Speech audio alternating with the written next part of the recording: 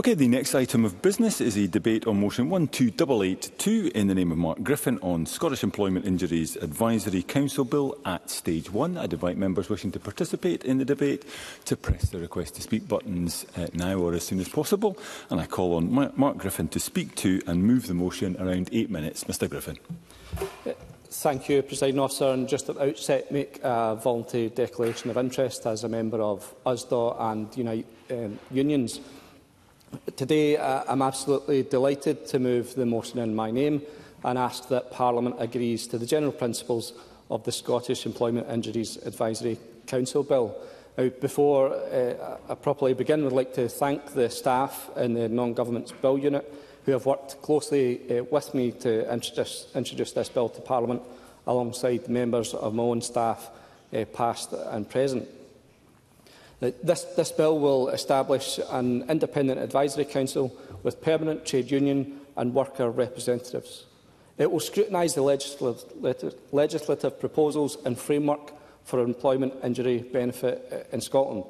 The bill gives the Council the power to investigate and review emerging industrial and employment hazards that result in disablement through uh, disease or injury.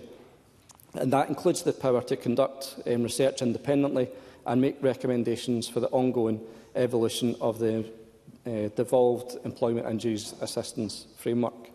The Council's investigations may lead to the expansion of benefit eligibility to further groups of people who are injured or ill because of where they work. An appeal to, to every member in this chamber not to turn their backs on the workers who find themselves grappling with injury and disease brought on as a result of their job. Nurses, social care workers, teachers, footballers and shop workers who have become ill directly because of the work they do. They deserve our support. Sheena, a, a teacher in Dundee who now suffers from long COVID after likely catching the virus in the classroom she was teaching in. She told me about her invisible disease, which has left her hard of hearing and continually fatigued, unable to return to the job she loves. Sam, who, suffering from an asbestos-related condition, has highlighted the plight of women workers who have been exposed to chemicals, dyes and dust, yet a gendered system effectively prevents their entitlement to the benefits they clearly need. If you were a man... And it, yep, certainly. John Mason. I thank uh, uh, the member for giving way. I mean, I think there's a lot of agreement with what he says, that we should absolutely be dealing with some of these issues. But am I right in saying that his bill does not include any money, any costing, to, to pay the, the teachers, the other people who do deserve such benefits? Mark Griffin.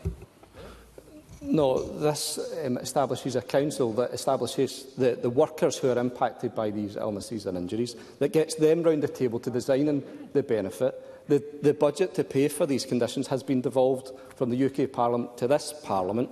It's up to this Parliament to take the responsibility of creating a, a system that's fit for purpose, that doesn't ignore the female workers that have been ignored for the last 40 to 50 years. And the, the, the female workers, um, if you had a, a man who works with asbestos and contracts mesothelioma as a result of their exposure, they're covered. But if you're a woman who works in an environment with asbestos, because you just happen to not touch the asbestos through the course of your work, but still in inhaled the fumes every day, you're completely ignored completely ignored by this system and it's people like that that we need round the table to design this benefit as it's introduced, as it's devolved and it's a huge gap in the devolution eh, process so far. So uh, I really need to express my sincere thanks to Sheena, to Sam and the countless others yeah. who have shared the, their absolutely heartbreaking stories um, with me over the, the years. They've absolutely convinced me of the need, the necessity for this bill. Organisations like the Disabled Workers Committee of the STUC, Action on Asbestos, Thomson Solicitors, Scottish Hazards, Long COVID Scotland, Child Poverty Action Group, Close the Gap, Scottish Healthcare Workers Coalition and even the government's own established Fair Work Convention have all shaped and supported the development of this bill. I'm grateful for the endorsement of trade unions, including Unite, USDA, GMB, Unison, PFA Scotland, the Fire Brigade Union. All members of the STUC back this proposal. The SNP trade union group back this proposal. It's just a shame the government don't listen to their own trade union members.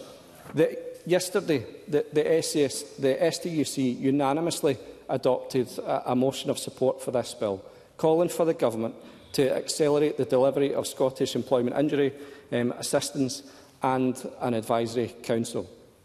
I'd also like to mention um, the, the many ex-professional footballers who have supported my colleague Michael Mara's Injury Time campaign to have brain injuries in football classified as an industrial injury. That's a cross-party campaign, support from SNP MPs down south, but doesn't seem to have the support up here. It's backed by Sir Alex Ferguson, Craig Levine, Gordon Strachan and, and Alex McLeish.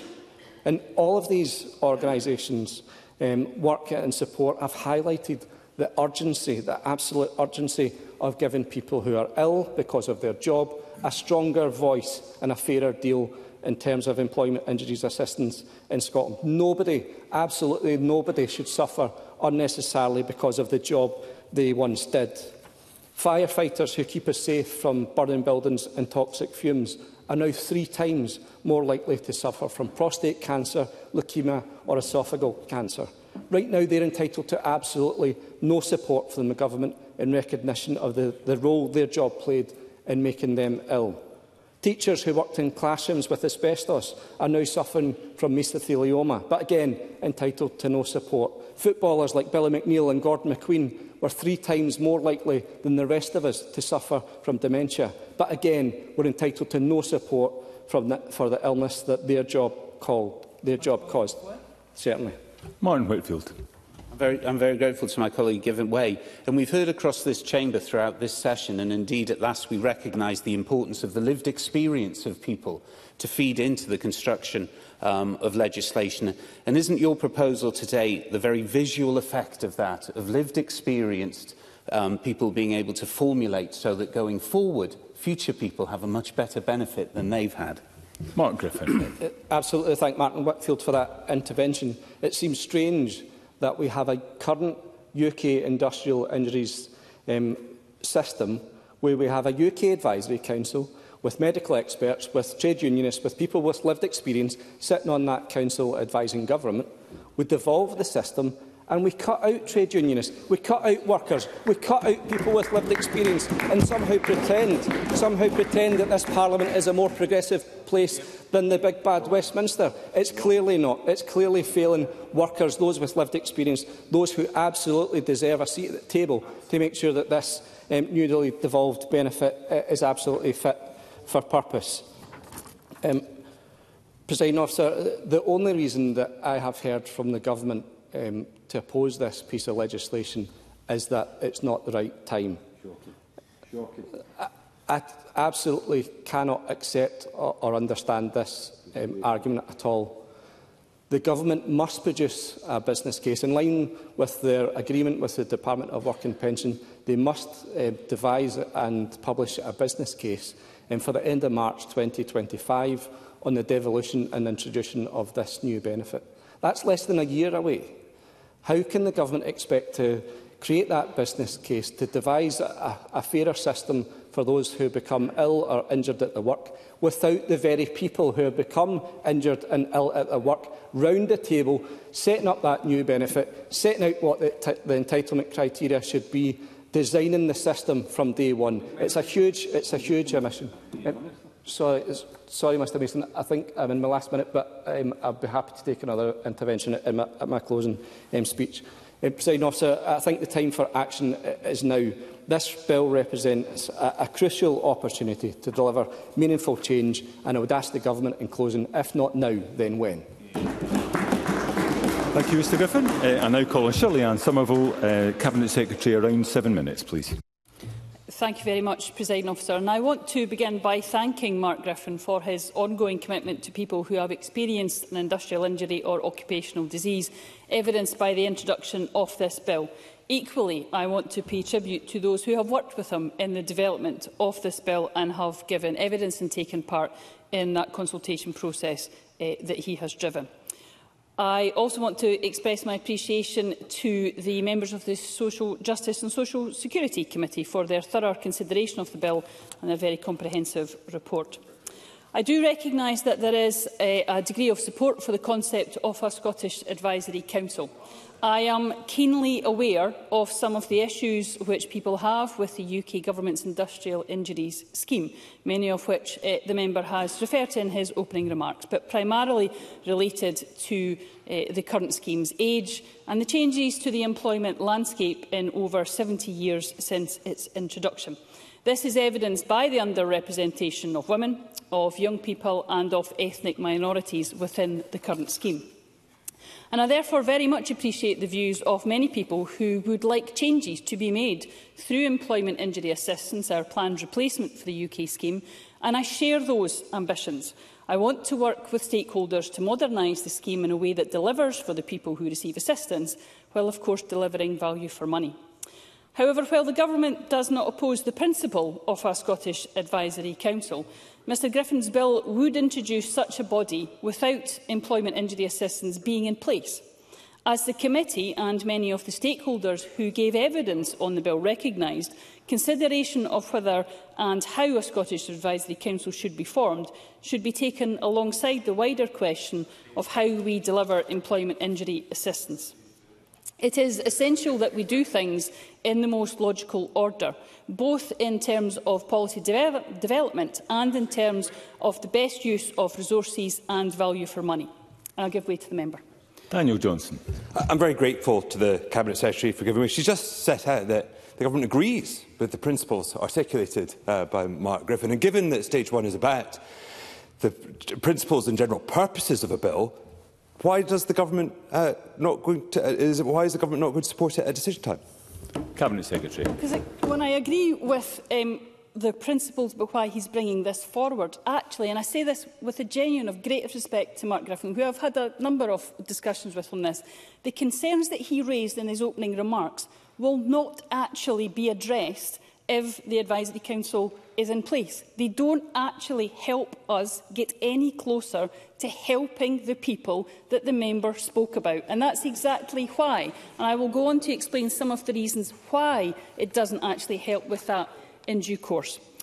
Until Social Security Scotland is delivering employment injury assistance, eh, we would not be able to act on the recommendations made by the Council. So we would, in effect, have a council, which we will take time to set up, and then the council would, in essence, not be able to have anyone to report to that would enact their recommendations.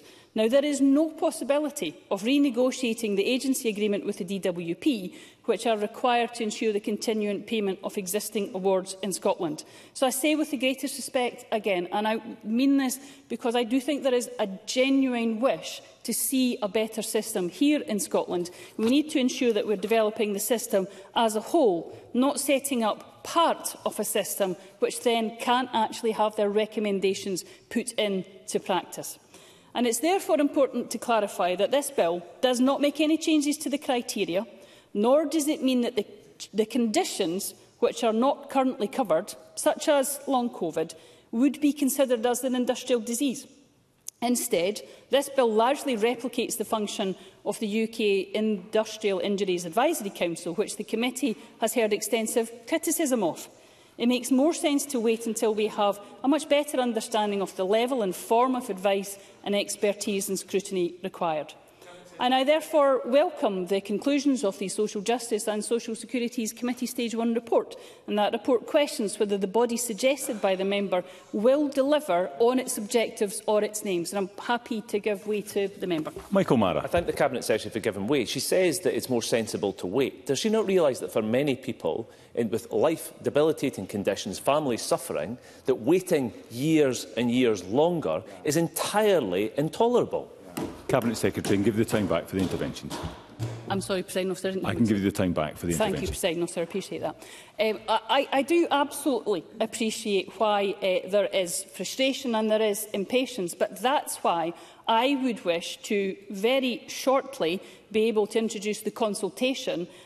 and move on with getting people round the table and working out what the new benefit would look like. Because again, and I say this with the greatest of respect, we don't need this bill or indeed any other statutory footing to get people round the table to design a benefit. We haven't needed that for any other benefit, which we have co-designed with people, and we do not need it for this one. So rather than this bill, if it became an act, therefore putting the government uh, into obligation to be setting up a council, we could actually be already getting those people round the table and having those types of discussion without the bill, and I am happy to confirm that we will be doing so. Now, the committee have raised important questions around whether the model of a statutory advisory council that this bill proposes is the right option for employment injury assistance, because what this bill does is set up a council. It does not set up simply something that advises on the development of a benefit.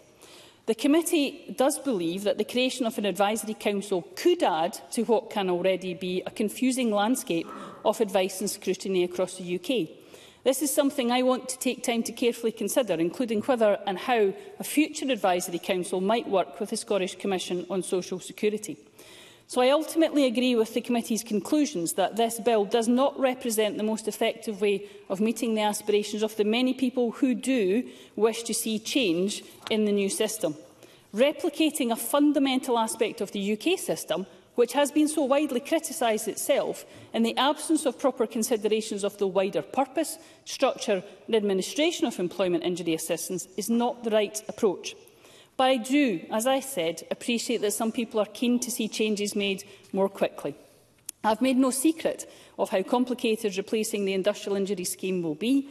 Many of the changes stakeholders want to see, including a greater emphasis on the prevention of workplace disease, are not possible with the powers that we currently have.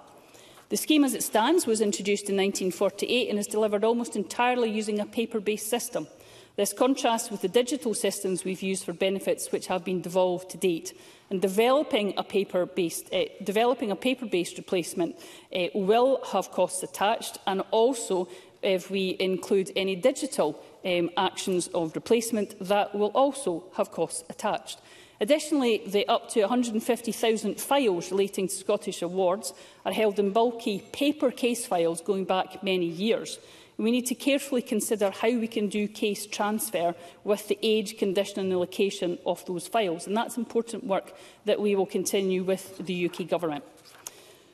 We are considerably constrained on our ability to make changes in the short term, but I am committed to exploring how employment injury assistance can be reformed so it meets the needs of the people while protecting payments to current clients. To that end, we will launch a consultation on employment injury assistance in the coming weeks, specifically focused on the immediate next steps.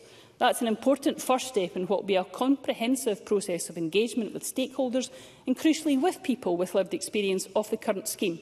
In the weeks following the launch, meetings with disabled people's organisations and trade unions will be set up, should they so wish to take part, to discuss the range of challenges with replacing the scheme and our next steps, and of course the opportunities that come with that too. In line with our commitments and depending on the outcome of that consultation, that will of course be followed by the establishment of an advisory group. So again, I stress we do not need this bill to have that type of group established. This group will consider the responses to the consultation along many of the issues that have been raised during the evidence sessions on this bill. Given the understandable interest generated by the Member's Bill, I do agree with the committee that it is important that the advisory group carefully consider these offers. If I have time, presiding officer. Very briefly, Miles Briggs. Can I just ask, what will be the makeup of that advisory group? Cabinet Secretary, and I would be obliged if you could start winding up now. Certainly, President Officer. I, I will say I'm happy to return to that in my closing remarks, but I, I think particularly people with lived experience, uh, trade union representations um, and others who have shown an interest during this progress, there's a lot to learn from this bill's progress that we can take forward. But I wish, in closing, President Officer, to reiterate my thanks to Mark Griffin for his work on this important matter. While the Government cannot support the bill, I do appreciate the work that he has done on this, and it will inevitably assist as we develop develop employment injury assistance in the future? Thank you, Cabinet Secretary. Before calling the next speaker, um, there have been a number of interventions already. Just a reminder that as well as asking for an intervention in the normal way, be grateful if members could also press the intervention buttons, uh, which is helpful for those that are joining us uh, online. Uh, I now call Colette Stevenson to speak uh, on behalf of the Social Justice and Social Security Committee. Around seven minutes, uh, Ms Stevenson. Uh, thank you, Presiding Officer. And on behalf of the Social Justice and Social Security Committee, I am pleased to contribute to this debate. I'd like to thank all the respondents who sent admissions to the committee's call for views, as well as the organisations and individuals that attended committee meetings to provide evidence. And also would like to thank the clerks for all their assistance in providing an excellent report. In scrutinising the bill, the committee first heard from the Industrial Injuries Advisory Council and the Scottish Commission for uh, Social Security. And we then took evidence from witnesses representing trade unions, occupational health, academia and campaign groups. The bill proposes to create an independent Scotland Employment Injuries Advisory Council, which would, amongst other functions, scrutinise regulations on employment injury assistance the plans equivalent to the Industrial Injuries Disablement Benefit. The current industrial injury scheme and associated benefit has now been in place for more than three quarters of a century. The scheme was created for a world that is very different to the one that exists now, and Unite the Union in particular have described it as outdated and laborious. Other witnesses we spoke with were similarly critical of the system in place and highlighted its shortcomings. Weaknesses cited included the fact that it is slow to effect change, fails to deliver for women and ethnic minority workers, excuse me, and does not take account of modern occupations and diseases. Scottish Trades Union Congress characterised the system as inherently unequal and inaccessible with a hugely disproportionate impact on women. What came through clearly in evidence was that the system needs to change and there was considerable support for the bill among stakeholders. The Fire Brigade Union said in evidence that having the Advisory Council in place is essential to reform the benefit so that it is properly devolved and fit for purpose in the modern day. However, despite the strength of sentiment from witnesses, members of the committee feel uncertain that the bill could bring about the change and modernisation that stakeholders want. Firstly, there was concern about whether the Advisory Council would be able to deliver on its aims and address gaps in data collection – given the limited research budget proposed as part of the bill. Members also questioned whether it be possible to recruit, recruit the expertise needed for an advisory council, given that both the Industrial Injuries Advisory Council and the Scottish Commission on Social Security indicated that recruitment has been an issue and the Advisory Council would be seeking people with similar expertise. There is also the question of timing. The Scottish Government argues that to introduce the bill and the Associated Advisory Council before employment injury assistance is in place is impractical and financially inappropriate. This is because the Scottish Government's agency agreement with the DWP to deliver the benefit until the case transfer is complete means it must abide by the DWP policy. Ministers would therefore be unable to act on any of the Council's recommendations, even if the bill were to pass. The Scottish Government also said that once employment injury assistance is in place, it would still not make changes to it while some claimants' awards are being delivered by the DWP. This is because to do so would risk the creation of a two-tier system with some potentially better off than others. Another point of opposition is that the Scottish Government has said it is committed to holding a public consultation on its approach to replacing the industrial injuries scheme in Scotland. It considers this is a more appropriate way of considering whether to enact a new public body because the question of whether to create this can, can be considered alongside other questions related to the new scheme. In its Stage 1 report, the committee notes concern that the creation of an advisory council could add to an already cluttered policy landscape. Either way, the committee is very concerned that it is still not clear when consultation will begin and calls on the Scottish Government to urgently provide information on this. The committee notes that in the Cabinet Secretary's written response to the Stage 1 report, she said that the Scottish Government intended to publish its consultation in early 2024. And given it is now April, the committee urges the Scottish Government to provide updated timings. An associated issue that arose during the committee scrutiny was the time required to complete case transfer of the benefit, as more than 100,000 paper files need to be converted to a digital format.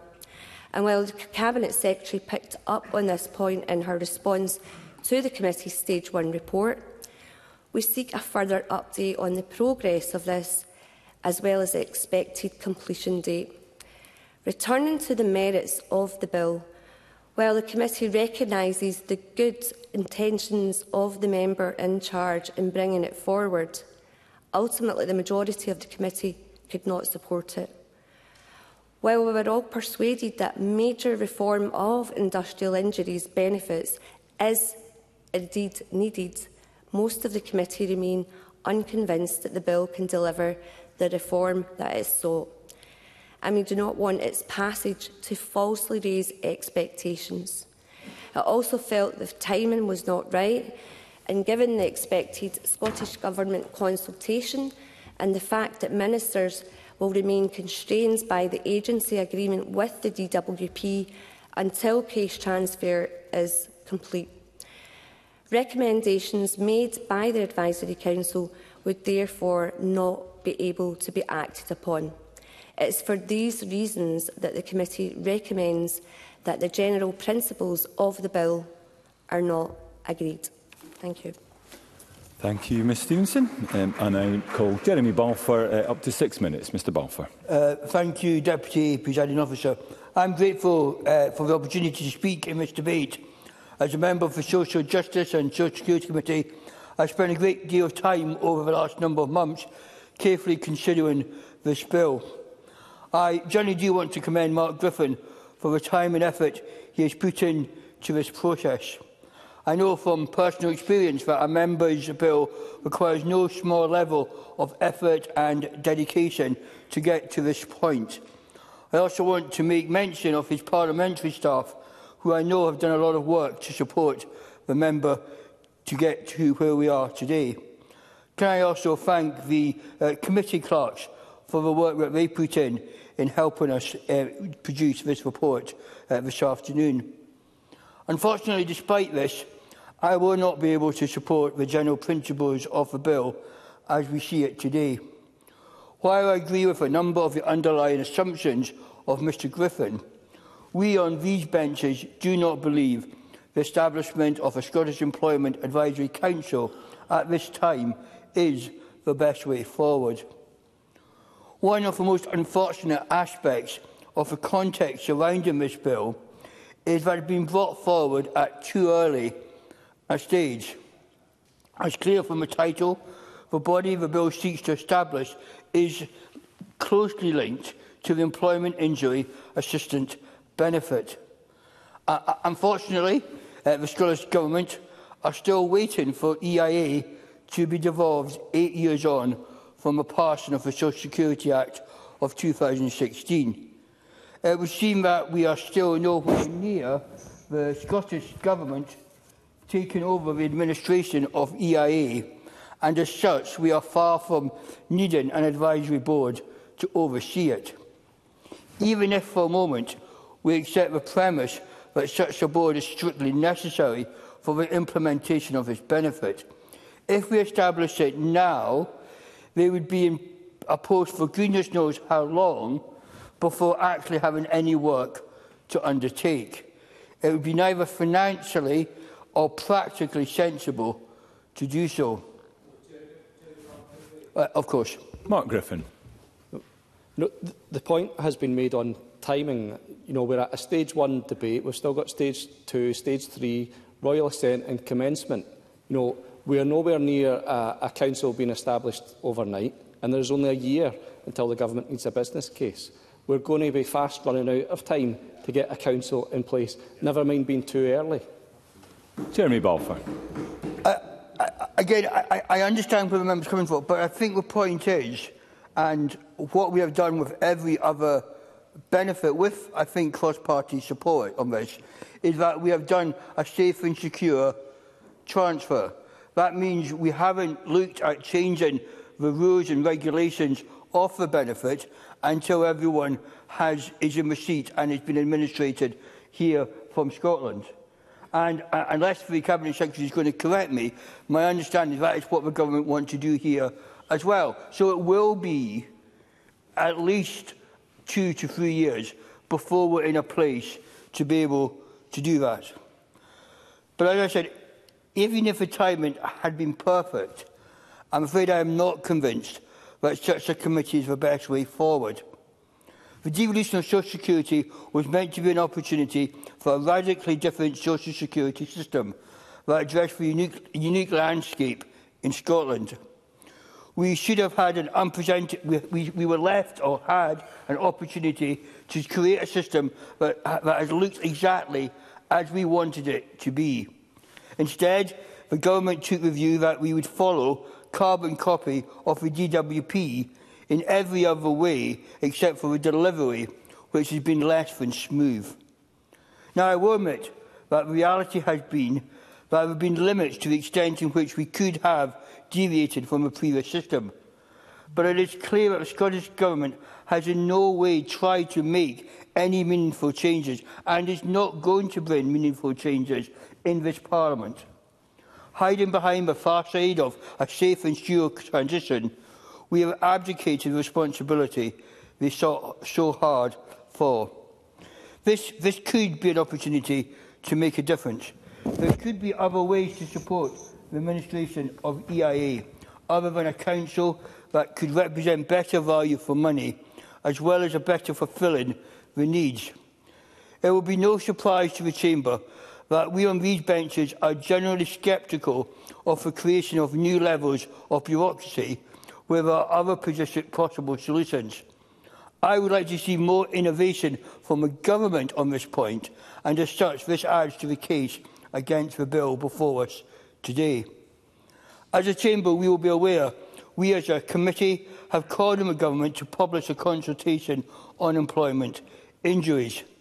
The work that Mr Griffin has done has shed light on the fact that we must make quicker progress on this issue. We are unable to get a straight answer to the timing of the government's plans for consultation.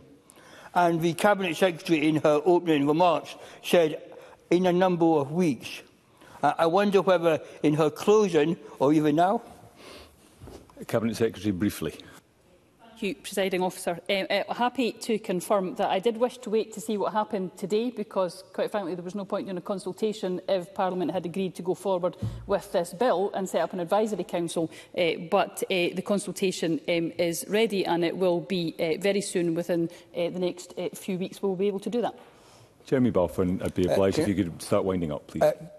I, absolutely. Uh, and can I thank the Cabinet Secretary for that? Presiding Officer, as I said at the outset, Mr Griffin and his team have undertaken a lot of good work to get his bill to this point. He has shed light on the delays in the devolution of EIA, and I hope focus the government's eyes on this issue. However, unfortunately, we will not be supporting the general principles at decision time tonight. Thank you. Thank you. I now call Paul O'Kane uh, up to six minutes. Mr O'Kane. Thank you very much, uh, Deputy Presiding Officer, and I'm uh, pleased to open on behalf of Scottish Labour in this Stage one debate, and I am pleased to be supporting the general principles of my colleague Mark Griffin's bill. And I want to begin by paying tribute to uh, Mark Griffin, uh, to his team, past and present, and to everyone who has assisted, not least those uh, from the trade union movement uh, and workers across Scotland in the preparation uh, of this bill. Uh, and I think today what Mark Griffin has outlined is in the best traditions of the Labour Party and the Labour movement, representing working people in Parliament and giving voice to their real concerns and driving forward the change they need to see. That is where we have always been and it is where we remain today. And I think we've already started to hear many of the excuses that are being lined up by the government and, and the Conservative benches about why they will not support Mark Griffin's bill. And I think that will be a, a real disappointment to those uh, working people who are uh, watching this debate today and who have been part of the process of consultation and development of this bill. Because I think, as has been outlined, timing has been mentioned uh, a lot already. Uh, the reality is we have seen, I think, delay and confusion very often around what is happening in the development of um, employability assistance here in Scotland. And I think, as Mark Griffin outlined, if you could just give me one moment, I'll, I'll, I'll come to the Cabinet Secretary he, he made very clear, I think, in his uh, intervention on Jeremy Balfour about um, the need for uh, these things to be put in place, uh, because we are a long way off um, still from uh, any in uh, Industrial Injuries Council being put in place. But I'll give way to the Cabinet Secretary. Cabinet Secretary. Uh, I'm grateful to the member. Uh, can I clarify that any changes to the timetables on which uh, we are uh, looking to deliver employment injury assistance is based on two issues. Uh, one, uh, COVID, when both the DWP and uh, the uh, Scottish Government had to reassess their work plans, and also the delivery of the Scottish Child Payment, which I'm sure the member will appreciate uh, was uh, a very big undertaking, but a very important one. Paul O'Kane. I mean, I would, I would remind the Cabinet Secretary that when she came to the Social Justice and Social Security Committee uh, and gave evidence, she spoke about consultation come forward in, early in the new year, and we, we spoke about the consultation. We're now in April. I understand what she has said uh, in the course of the debate today, but I, I think it, the delay has really caused deep concern for people about the progress of, of this benefit and making sure that we get the right assistance for people who deserve it. And I do think that's why it's incumbent on Parliament to support this bill in order to make uh, forward movement in this area. And of course, I recognise, as stakeholders do, that the bill won't introduce the benefit and it doesn't outline what the benefit at this stage would look like. But it sets up the key components that will be needed when that benefit uh, comes forward. Because expert uh, advice and workers' voices will be required to ensure that the right illnesses, injuries and disabilities are covered. Uh, and we believe that an advisory council as proposed is the right vehicle for that. Because the proposals, as outlined by my colleague Mark Griffin, Griffin make it independent from government, gender balanced, with permanent representation from workers to carry out its own research and critically, in my view, compared to the alternatives that could exist puts the body on a statutory footing, so government can't just disband it, as it has done with other advisory groups, such as DAC, BAG. And I think what was striking for me in all of the evidence, uh, if you just allow me to finish this point, what was striking for me uh, as a member of the committee in all of the evidence that we heard was the widespread support from stakeholders and, and the very little opposition to it. So I'll give way to the Cabinet Secretary. Cabinet Secretary briefly. Uh, uh, I'm grateful again, Presiding Officer. Um, can the member tell me whether he agrees that we should continue with a medical definition of disability, as is in the current scheme, Or does he think we should change to a more social uh, definition of disability? Because if he doesn't know the answer to that question, I think that points to why we need to look at the benefit of the whole, because depending on how the member wishes to define disability depends on the type of support mechanisms and indeed whether an advisory council is needed and what it looks like. Paul O'Kane. I, I think, as we've said throughout, we're interested in the lived experience element of this and in people talking about their experience of disability, which would suggest there is that model of um, people's experience in, in the social uh, model. So I don't understand why the Cabinet Secretary wouldn't support workers and people with that lived experience giving voice to that through the Council uh, in terms of what is being proposed today. I, I, and I think on the point uh, I, I was uh, leading with in terms of the support for this bill, Uh, the trade union movement, as I have said, support this bill, with Ross Foyer of the STUC commenting uh, just this week that by rejecting Mark Griffin's bill, the Scottish Government would be sending out the message that workers injured at their work and now in need of assistance from the state can be disregarded or ignored. And we know that it has the support of organisations who recognise that this is not the end of the road in terms of employment injuries, but is a step in the direction to getting voices heard and those calls for assistance. And those are groups like Action on Asbestos, Long COVID Scotland and the Injury Time campaign, ably led by my friend and colleague Michael Mara and supported by legends of the game in Scotland, as we've heard already. Uh, all of those people um, speaking about the hazards that they experienced in work uh, and the need to be covered by employment injury assistance. And that has to be an expert body looking at the evidence and making recommendations. And they consistently told us that the Advisory Council was a step in the right direction uh, towards that. Uh, certainly. Briefly, Michael Mara. I, I appreciate the member giving way. Who recognise that those many um, high-profile uh, player, former players in the Scottish football uh, have backed our campaign, the injury time campaign. But many of them have no time to wait. They are in their injury time. They are living with families. They are putting huge pressure on their families to pay for their care. It's not, now is not is the, really is the time where they need action from this government to actually act so they can get the support that they need. Paul O'Kane. I completely agree uh, with the points made by Michael Mara and that's been made by Mark Griffin as well, that people uh, are running out of time to, in order to have this, uh, this justice, this sense of uh, injustice in many ways, uh, uh, fixed and sorted and have their voice, crucially, heard in that process as we develop uh, this benefit. Uh, Presiding officer, in drawing my remarks to uh, a conclusion, I think what is clear today that the SNP's failure to move forward at pace and purpose uh, on these issues and their failure to support this bill is another failure to support workers and working people in this country. It would appear today Now, the government want to give us warm words about their support of the general principles of the bill, but not put that into action by backing the bill at decision time. It seems to me that they are only interested in paying lip service to Scotland's workers and trade union movement and never actually carrying forward the policies that are needed with any sense of urgency. So, as I said at the outset, Scottish Labour will always be the party of working people in Scotland, and that is why we are pleased to support the bill at stage one.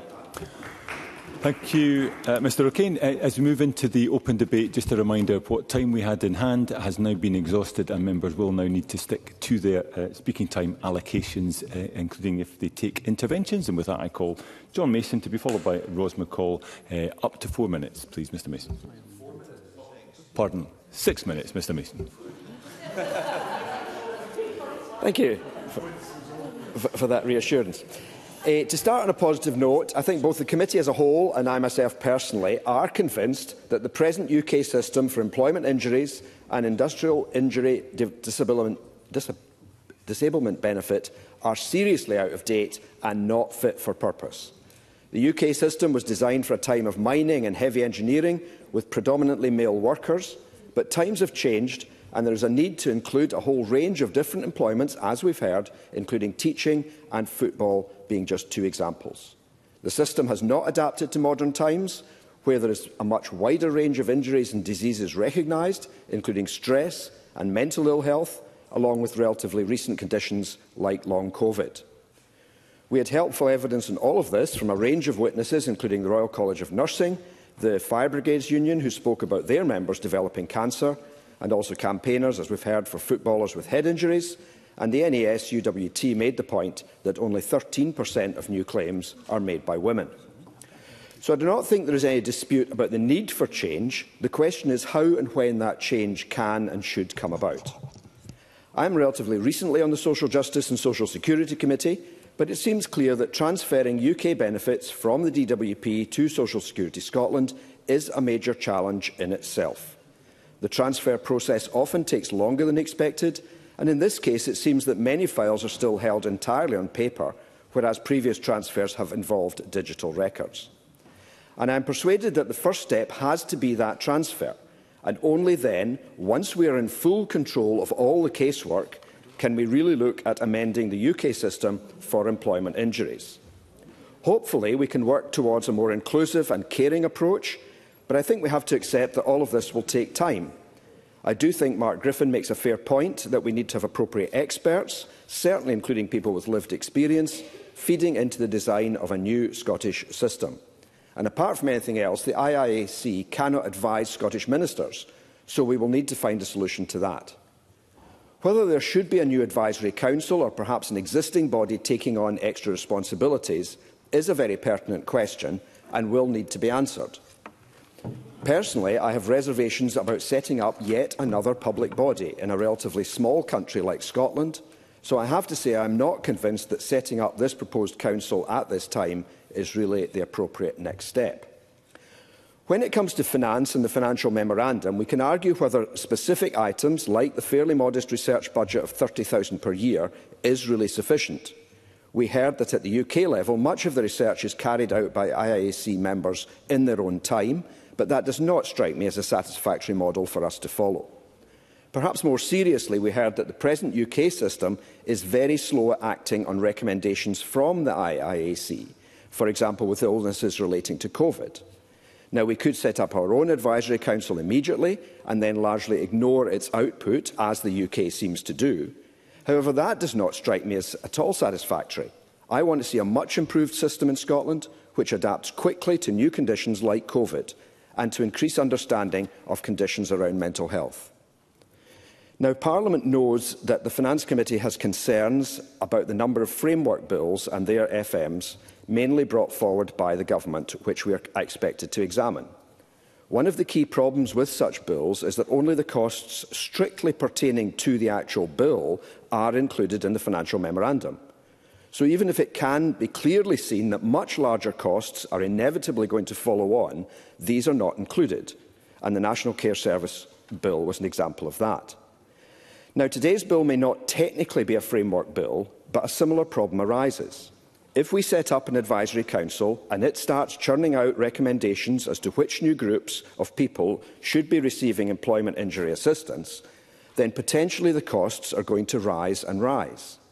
Now, morally, I do agree that many more people than at present should be considered for the new EIA, and we should all be working to make that happen. And I also accept that such a new system might well save money in the long run. However, we also have to live in the short term with the financial constraints put upon us. There is just not the money there to increase payments substantially, however well deserved and needed they may be. If we in Scotland are to be fairer than Westminster has been in paying people what they deserve and need, I'm afraid that that money will not come from the DWP. Let's remember that in this year's budget, we increased, increased social security spending by some £1 billion, while most other budgets were being squeezed.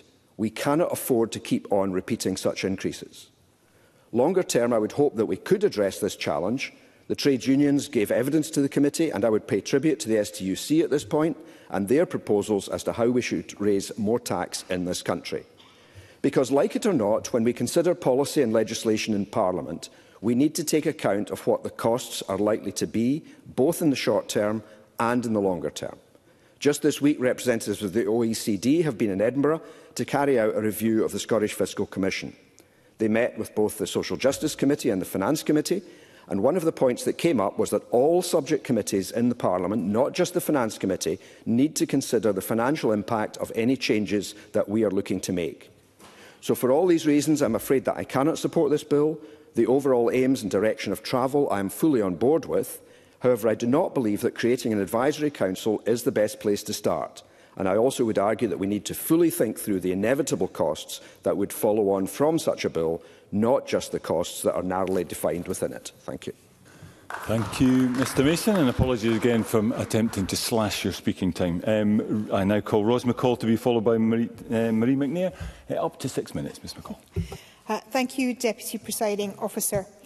Um, I would also like to begin my contribution this afternoon by congratulating Mark Griffin on getting his bill to stage one. I've met with Mr Griffin on this and I know how passionately he is on this topic and I think we could hear that, all hear that with his initial contribution. I understand this process can be somewhat cumbersome and I appreciate the amount of work that is required to get to this stage, so I do congratulate Mr Griffin and all involved on what he's managed to achieve so far. As a member of the Social Justice and Social Security Committee, which was tasked with scrutinising the proposal, can I also place on record my thanks to the clerks for their diligent work on drafting such a comprehensive report and to everyone that came to give evidence. As members will be aware, the bill aims to create an independent Scottish Employment Injuries Advisory Council, which would have three functions. To scrutinise regulations on the Employment Injury Assistance, EIA, report on any matters relevant to EIA, to carry out, commission or support research into any matter relevant to EIA. The bill would also mandate the membership and the membership balance of the Advisory Council, including the representation of workers on the Council. So in examining the bill and working with it through its initial stages, I think all members of the committee kept an open mind, and they have based their conclusions on the findings. The committee heard evidence from trade unions and other stakeholders on the need for change. For example, evidence highlighted the current system's unequal treatment of particular groups, with the STUC noting that the present system is inherently unequal and inaccessible and has a hugely disproportionate impact on women when they stated that everything is gendered. From the lens that it is seen through, the industrial injuries that it covers and the accessibility to women of its processes, we need to think about how we can modernise and change that and the NESUWT also agreed that the current benefit is unequal, discriminatory, and I was shocked to hear that up to December 2019, only 13.5% of all new claims were made by women. There was also strong evidence for the need to reform and modernise the way in which the industrial injury scheme operates in Scotland, in particular who is eligible for EIA. Unite, for example, emphasised the historical nature of the scheme and the need for a new system that's fit for a modern Scottish workplace and emerging industries. And they noted the current system is outdated, laborious, it does not cover a myriad of new and existing diseases experienced by workers in the 21st century. In essence, their argument, and that of several other witnesses, was that the model of work has changed significantly over the last 50 years, and that's a compelling one. We also heard how the current system is slow and ineffectual and that people are missing out on assistance which could positively impact their lives. Change is therefore needed, and I agree with the conclusions of the committee report. But the question is, what is the right way to secure that change? And I'm afraid I do not believe that this bill is the right way to do that. Firstly, as the Scottish Government is still to move forward with the transfer from the DWP, who continue to administer industrial injuries benefit until at least March 2026. The Advisory Council would therefore duplicate the work of an existing UK body. We heard evidence from Professor MacDonald that the Advisory Council were to examine the same issues as the UK body, then there will be a duplication of research, which is wasteful, because the same diseases are occurring internationally. Why do we have to do everything ourselves? I agree wholeheartedly with this sentiment as the legislation would establish a body which would broadly mirror the existing UK body. So then I find myself asking the question. If the UK body... Eh, sorry, one second, if I can just finish this bit and then happy to take an intervention. If the UK body is not fit for purpose and slow to effect change, then why would we want to duplicate these issues onto a new Scottish body? Happy Clear, to take an intervention. Clear Baker. Okay, I recognise our points about international research, but does Schwab accept that there are particular challenges in Scotland, given our industrial background, and we know that our figures are um, higher than the rest of the UK when it comes to workplace fatalities and other areas? I think there are particular challenges in Scotland that an advisory, advisory council could um, be you know, helpful in addressing. Rose McCall. Whilst I accept that, I also think there are charities that can provide additional information, and I'm still not sure that moving forward with this body is the right way to go. However, my main concern centres on the fact that this bill wishes to deal with a benefit that doesn't exist yet, which is the EIA. Instead, we have a situation where the DWP will continue to deal with this area for at least another two years, while it, and then the Scottish Government will be launching a lengthy consultation process, which I hope will get additional information. And indeed, the committee noted during evidence that there's still not a definitive timescale on the completion of that consultation, but I do note that the Cabinet Secretary has mentioned that not only in her opening comments but has also answered interventions on that and I am looking forward to that coming forward as a matter of urgency. So in conclusion, Deputy Presiding Officer, I acknowledge the good intentions of the bill. I have noted some of the evidence about the deficiencies in the current system and I wholeheartedly accept the need for change. However, unfortunately, I think that due to the Scottish Government's inaction on coming forward with a proposal of how they intend to deal with EIA,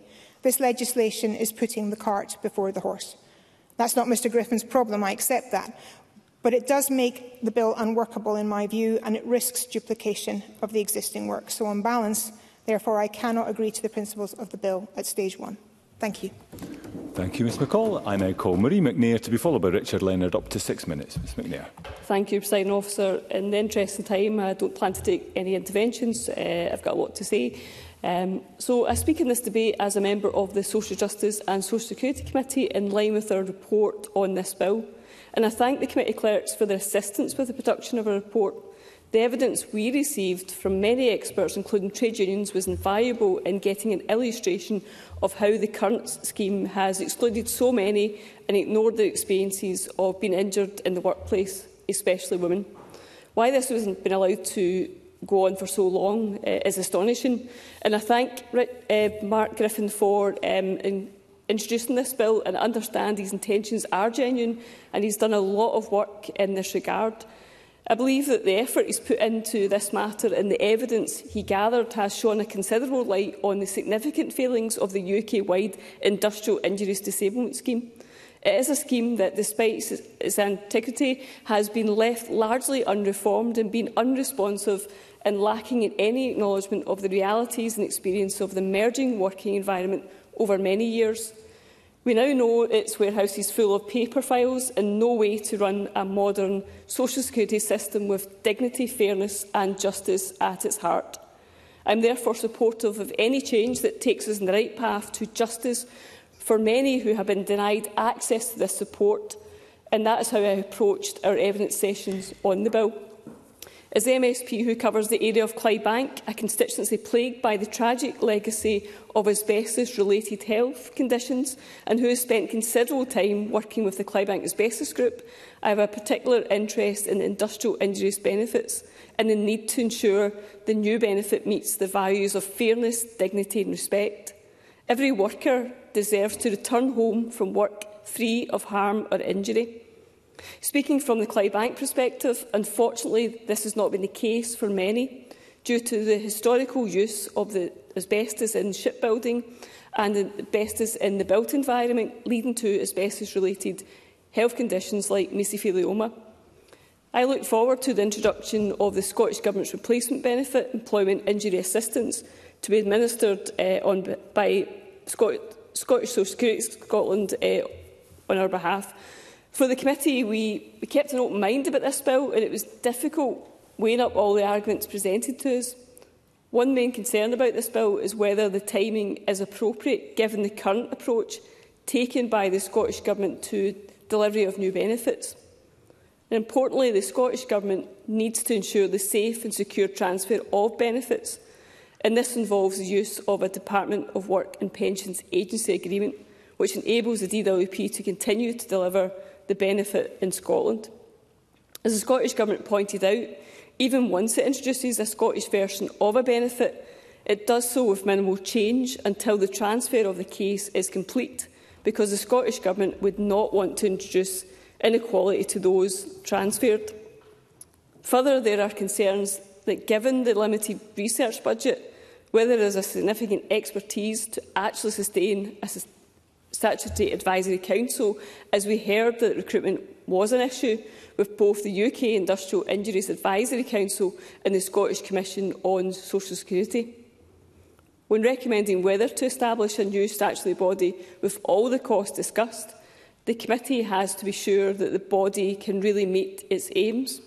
And it's clear to me and members of the committee that major reform of industrial injuries benefit is needed but we're not convinced that this bill would secure this, as the scope to deliver the scale of the change required is years away. While the committee did fully consider the evidence and arguments for and against, unfortunately, the timing is a major concern, and at this point, the timing is wrong and so cannot support the bill as there's uh, doubt that it will achieve its aims, particularly in times of fiscal constraint. The evidence does emphasise the need for expertise in guiding the way forward, and I welcome the commitment from the Cabinet Secretary that a stakeholder group will be set up, and it's clear that the expertise has not been listened to for long, for so long. In our summing up, um, will the Cabinet Secretary guarantee that groups like Clybank Asbestos Group will be included in this stakeholder group? The expertise and knowledge of these experienced has long been ignored And this, I'm sure, is part of the reason we're inheriting this unjust and neglectful policy from Westminster. So, on balance, the committee is not able to support the general principles of this bill. What the bill has helped fully expose is the lack of interest that the Westminster Parliament has shown in this issue and the fact that this legislation has been in place since 1948 and has been mostly unreformed is a significant injustice. They have been asleep at the wheel at best and a denier of support to many who, at the end of the day, were just doing their job. And workers need a safer environment and compensation and support when needed. And how can this issue be ignored for so long by Westminster governments of all persuasion? And as such, the committee recommends the Parliament that the general principles of the bill can't be agreed as it stands. So thank you. Thank you, Ms McNair. I now call Richard Leonard to be followed by Maggie Chapman. Up to six minutes, Mr uh, Leonard. Deputy Presiding Officer, can I remind members of my trade union affiliations recorded in my voluntary register of interest? And let me begin with that, because the Scottish Trades Union Congress has been convening in Dundee just this week. And as late as yesterday morning, it reaffirmed its backing for this bill, which this afternoon this government is planning to oppose. The PFA and the Injury Time campaign deeply troubled about neurodegenerative diseases amongst former professional footballers. The FBU intensely alarmed about the carcinogenic exposure of firefighters, union after union, gravely concerned about long COVID. And as a result, an entire trade union movement in Scotland united in demanding urgent action from this government to tackle the deep and blatant inequalities of this present system of industrial injuries disablement benefit. And they all see this bill, all of them, as a decisive first step. And they are not alone. The government's own Disability and Carers Benefit Expert Advisory Group, established in 2017 to advise ministers on benefits, including Employment Injury Assistance also recommended that a Scottish Employment Injuries Advisory Council be set up, but that recommendation has never been implemented and the government has wound the expert advisory group up. And then there is the evidence to this parliament from experts, practitioners like Dr Mark Simpson, interim co-chair of the Scottish Commission on Social Security who told us, I quote, expertise in social security and expertise in industrial injuries are two quite distinct things. Absolutely clear in his evidence that, and I quote him, if a body were to be set up on a statutory footing with a formal requirement for it to be consulted, it would be harder for such expertise to be ignored. And what is this Cabinet Secretary's response? a mixture of improper appeals, false pretences and moral evasions. That the government is intending on a more wide-ranging public consultation of its own. Well, where is it? We've been promised a wide-ranging public consultation on employment injury assistance every year for the last five years. Then we are told we don't need legislation to get things done, when the whole point is nothing is being done. We are then informed that there is now a plan to set up a stakeholder group. But such a group, if it ever sees the light of day, will be non-statutory. It could be ditched at any time, just like the stakeholder group on disability and carers benefits was ditched. And then, best of all, best of all, we are expected to believe that it is all too complicated because here is a benefit which is not digitised but run from a paper system stored in a number of warehouses. This, remember, from a government whose party's very founding purpose is to create and then run in a matter of weeks an entire separate Scottish state. This must go down in the 90-year history of the SNP as the most risible excuse for inaction ever. And as for the safe and secure transition as a cause for further delay, as Anna Ritchie Allen of Close the Gap, who support this bill, explained to Parliament, a safe and secure transition is code for, in her words, business as usual, replicating a system that disadvantages women and increases the inequality they face. Questions have also been raised about the cost, the cost to the state, the cost to the Scottish Government of modernising the industrial injuries benefit system. But what about the cost to the individual worker? What about the cost to their families? What about the cost to them? And as for costs, this simple advisory body, which would be created with this bill, will help prevent occupational injury and disease, and so will help the NHS, will help local government social services, will help the welfare of these workers, whose only aim is to be able to live a decent, dignified life. This bill rests literally on the principle that an injury to one is an injury to all, which leads me to my final point. Anyone who looks at the incidence of ill health by occupation or of mortality by age must understand that we live in a class-based society and so that what the Scottish Government is doing today is reinforcing all of those old inequalities, is defending that old class system. It is turning its back on all of those injured, disabled, working people in Scotland struggling in adversity, those who are denied justice by the present system. That is what they're doing. And that is what all of those SNP and Green MSPs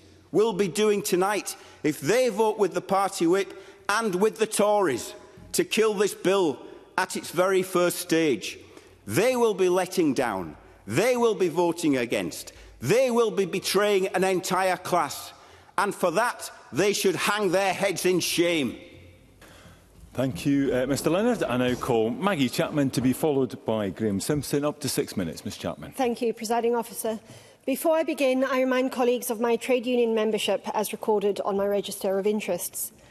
I'd like to begin by paying tribute to Mark Griffin for all the work he has put into his bill and the wider issues of support and compensation for people made unwell, injured or disabled at or by their work. I'd also like to thank the Social Justice and Social Security Committee for their detailed scrutiny of the bill's proposals and for their report published earlier this year. I'm sorry not to be a member of that committee, so not to have played a full part in that scrutiny, but I did try to follow the evidence sessions as best I could. I pay tribute too to the many trade unions, individuals and other organisations who contributed not only to the committee's scrutiny of this bill, but as Mark Griffin has outlined, have also campaigned for years to have the issues outlined by him earlier today properly recognised and addressed. Scottish Greens believe that nobody should suffer as a consequence of what they do for work because of an injury, illness or disability that happens in or develops because of their workplace. I think that this is something on which we can all agree. In our view, the extension of this belief is that people who do unfortunately suffer an, injury, an industrial injury or develop an occupational disease should be appropriately supported and compensated. I agree that we must reform and modernise the industrial benefits scheme we, ha we have had in place for over 70 years. There are significant improvements we need to see, some of which we've heard about this afternoon already. And I want to highlight just a couple of these. The Chamber will be aware of the ongoing decon campaign by the Fire Brigades Union.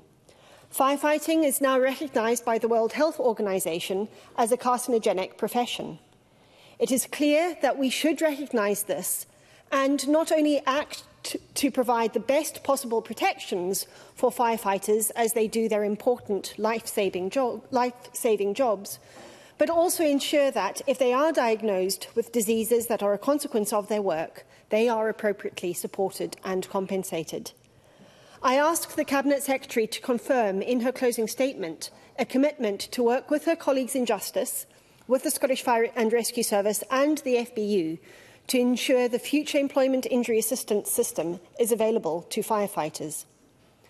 I would also ask the Cabinet Secretary to give, us an, uh, give an assurance to the Chamber this afternoon that in the work to be undertaken in the coming months, the following issues are clearly addressed. The committee heard that current approaches to workplace health and safety often ignore women-specific occupational illnesses and injuries – The Employment Injuries Assistance Benefit must not be gender blind. The STUC and Close the Gap have clearly highlighted the fact that women are vastly underrepresented within the current industrial injuries disability benefit system, accounting for only 16% of those claiming IIDB. Occupational injuries and illnesses associated with women-dominated work, such as social care and retail, are often ignored, underdiagnosed, under-researched undercompensated. Scotland's EIA must not replicate this inequality and injustice. As others have said, we want, to, we want the system we designed for Scotland to be inclusive, supportive and effective. I do not envy those with the task of digitising all those paper records we've heard about, but I wish them well. I also hope that the conversations that need to happen to ensure the EIA system we develop is fit for purpose can start and continue apace so that we don't leave people waiting for the support they deserve any longer than absolutely necessary. In closing, presiding officer, I once again thank Mark Griffin for making us all much more aware of the weaknesses in the current system of the support for those with industrial injuries or occupational diseases. I thank him for the conversations we've had about these issues over the last couple of years.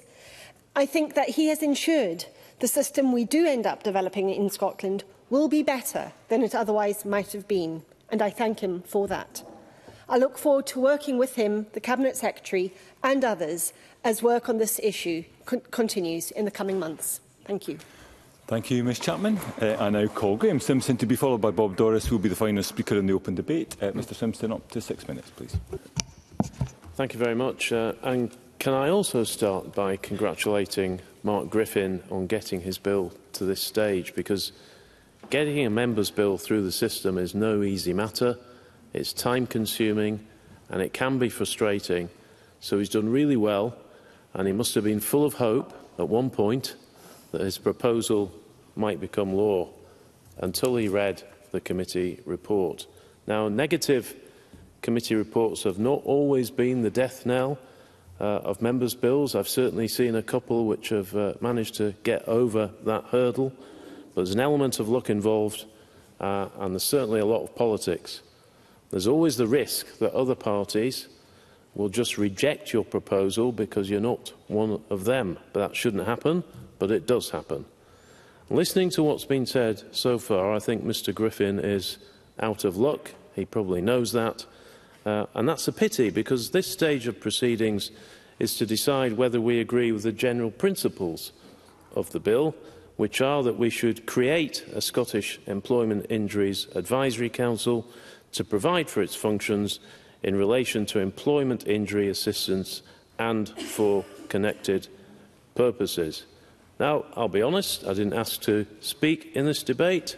I knew nothing about the, the bill until my name appeared on my party's whip, but um, if they're going to get me to speak in a debate about something that has not troubled me previously, then I thought I'm going to do Mr Griffin the courtesy of not falling back on the lazy way out of just asking what is our position. So after reading the, the bill, I turned to the committee report, which was useful. And it tells us that the bill would create an independent Scottish Employment Injuries Advisory Council – with three functions. Uh, they are to scrutinise regulations on employment injury assistance, that's EIA, report on any matter relevant to EIA, and carry out commission or support research into any matter relevant to EIA. The bill also mandates the membership and membership balance of the Advisory Council, including the representation of workers on the Council. So, so far so good. But skip to the end of the report and we find the committee full of praise for Mr Griffin and his good intentions, but saying it's not able to support the general principles. Paul O'Kane, who's not, not here at the moment, dissented from that, though his Labour colleague on the committee, Katie Clark, appears not to have done so. I don't know why that was the case, but the question is, with the honourable exception of Mr O'Kane, how the committee arrived at such a conclusion and do I agree with them? And my starting point is that benefit that Mr Griffin wishes his bill to deal with, EIA. It currently doesn't exist because although the Scottish Government could set it up, it hasn't, preferring instead to have their good friends in the DWP to continue to administer industrial injuries benefits under an agreement which runs at least until the end of March 2026. It's good to see uh, Mr O'Kane back. Um, someone can tell him how I was praising him earlier. The UK government has its own advisers. Yes, I'll certainly take an intervention, but welcome an intervention. I, I'm always, oh, oh, thank you. I'm always very grateful to you that I'm being praised uh, when I'm momentarily absent from the chamber. However, I understand that he referred to my colleague Katie Clark, who actually I believe was absent uh, the day we voted on uh, the committee report uh, from committee. So just for the clarity on the record. Graham Simpson. That's a useful explanation, and it's a shame she's also absent today unless she's uh, online. Uh, it would have been good to hear what she thinks. Uh, now, Mr Griffin is suggesting that the Scottish Government has some of its own um, advisers, uh, if and when they get round to setting up their own benefit in this area, or indeed in advance of this, in order to advise uh, on how the benefit should operate here. The difficulty with all this is that the Scottish Government is showing no urgency in wanting to do this. It seems content for the DWP. I see another intervention, but I'm, I'm afraid, Mr Griffin, I'm not getting any extra time. If the presiding officer is generous, I'd be happy to take... Um, she's shaking her head. I'm really sorry, Mr Griffin. Um, so the reality is, uh, if this was easy, the Scottish Government uh, would have done it already. They would be shouting from the rooftops about its latest game-changer benefit. And I think this is where the problem lies. My issue is not with Mr Griffin or his bill. It's just the reality of the situation is that we could create a body with nothing to do. Perish the thought. My guess is that the Cabinet Secretary, oh, Katie Clark, so you'll have to tell Katie Clark, if she's listening, that I cannot take her in. I have no time. My guess is that the Cabinet Secretary has no intention whatsoever whatsoever of creating a new benefit anytime soon. She will ask the DWP to carry on beyond March 2026. She will continue to promise to consult on how advice could be provided on industrial in injuries and it won't lead anywhere. We're a little over two years away from the next Scottish Parliament elections. Mr Griffin must know that nothing is going to happen between now and then. After that, who knows? Perhaps he'll be in a position to change things. Sadly for me, his well-meaning proposal falls because it relies on a Scottish Government that is Mr. dysfunctional Simpson. and you dithering. Must conclude. Thank you. And I call Bob Doris the final speaker in the open debate. Presiding officer, uh, as deputy convener of our Parliament's Social Justice Committee, I had direct involvement in the scrutiny of the legislation been asked to consider at stage one this afternoon. In the first instance, I want to thank the member in charge of the bill and the team of dedicated people who will no doubt have supported Mr Griffin in the bill's development, as well as all those who gave evidence to the committee in both written and oral forum.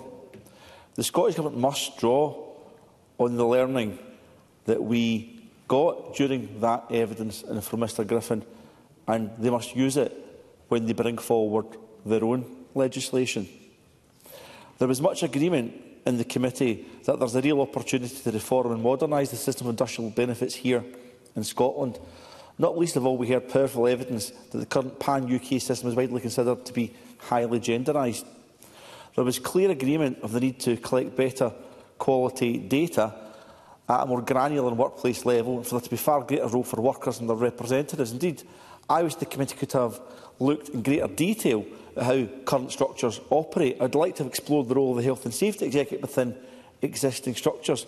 I was therefore deeply disappointed that they refused to give oral evidence to our committee, although they did eventually, eventually provide some written evidence. While it's not entirely ideal, I do offer my thanks that they did so. I do, however, look forward to this Parliament having the power to compel organisations to attend in the future. Also, the Health and Safety Executive has a seat on the UK Advisory Council. You understand why I would want them to appear at a Scottish Parliament committee. Not acceptable. Um, one ambition in the Employment Injury Advisory Council, which uh, should be considered by the Scottish Government that Mr Griffin was seeking to establish, is the proactive and preventative agenda, mainly through research in Mr Griffin's bill, but more generally there's a wider need for that. I think there's more that can be done in that area. Uh, we would all much rather uh, like to prevent injury than someone needing to claim employment injury assistance in the first place. Any new system of data collection on uh, workplace injuries and analysis and exploration of trends that may emerge and recommendations that may emerge from that uh, to address workplace safety and worker safety it must ensure key partnership between employers and trade unions. Occupational health I think I've got a key role to play as well, as do the Health and Safety Executive, despite uh, my, my comments and many others. Um, I do note that at decision time today, I will not vote the way the STUC would like me to vote, and I acknowledge that, but I do also acknowledge that the STUC would like to see the devolution of health and safety to this Parliament and just recently of employment law as well. And I think that would really give us all the tools that we need in this Parliament to deliver for workers in Scotland. Um, can I say that much of the evidence the committee heard revolved around how any Scottish system could evaluate and add a range of existing or new conditions for industrial injury? For, from long COVID to dementia and football, from Scotland's care, health and care sector to our fire service that Maggie Chapman very eloquently spoke uh, about. We need to be clear, however, that Mark Griffin's bill will not change who qualifies for any new employment, injury assistance. Indeed, clearly, self-evidently, the benefit doesn't exist yet. I don't think that was always clear uh, when evidence was being heard at committee. We also need to be clear that even if the bill did seek to widen criteria to qualify for employment injury assistance, that would not be possible until after we've had the full and safe transfer up to 150,000 paper files the DWP digitised and over to Social Security to Scotland. Much has been made of timing of the introduction of a new Scottish benefit, uh, of, of the new Scottish benefit. On that front, I do in part actually agree with Mr Griffin. We need certainty over case transfers. We need certainty over when we will have a full standalone Scottish benefit and when it will be operational and what that looks like, which is why I was pleased to hear that the consultation on that is, is imminent, and I think the Cabinet Secretary would say more, uh, but didn't want to disrespect the process contained within this bill here this afternoon. But there also appears to be a chicken and egg quandary around the whole conversation this afternoon. Do we set up a new employment injury assistance and then decide upon the nature of any advisory council do we set up an advisory council and, and introduce a new benefit? Yes, of course.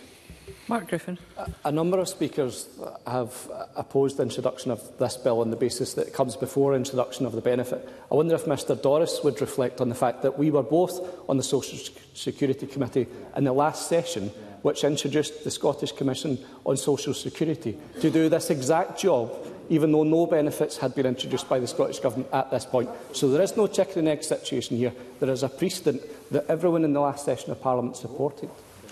Bob Doris. Uh, I, I, I thank uh, the member in charge for that intervention. I think it's a wee bit different because SCOS now exists and the government has actually to decide whether to use SCOS or a new advisory council. So, that, so it is a bit different. We'll just have to disagree on that one. But I get the point that Mr Griffin is actually trying uh, to make. So the Scottish Government uh, do, doesn't see it as a chicken and egg scenario. They want to deliver both in tandem, and, and, and I agree.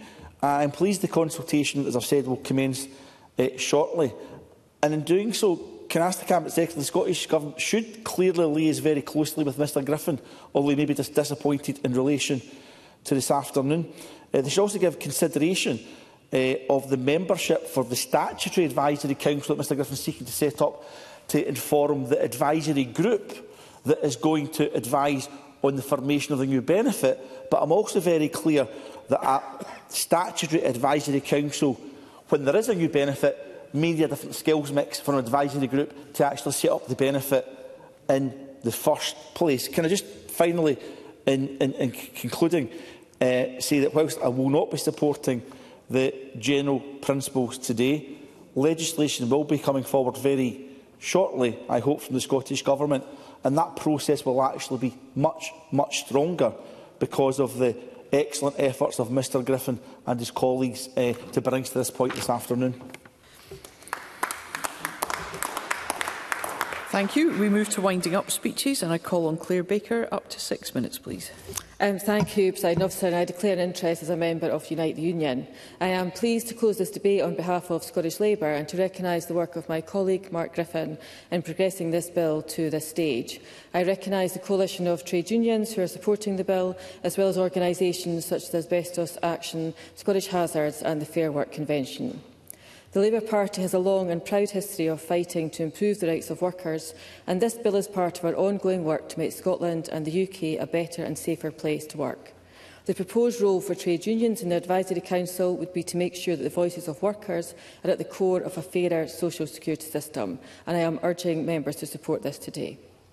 The current scheme of industrial injuries disablement benefits is outdated in the types of employment it covers.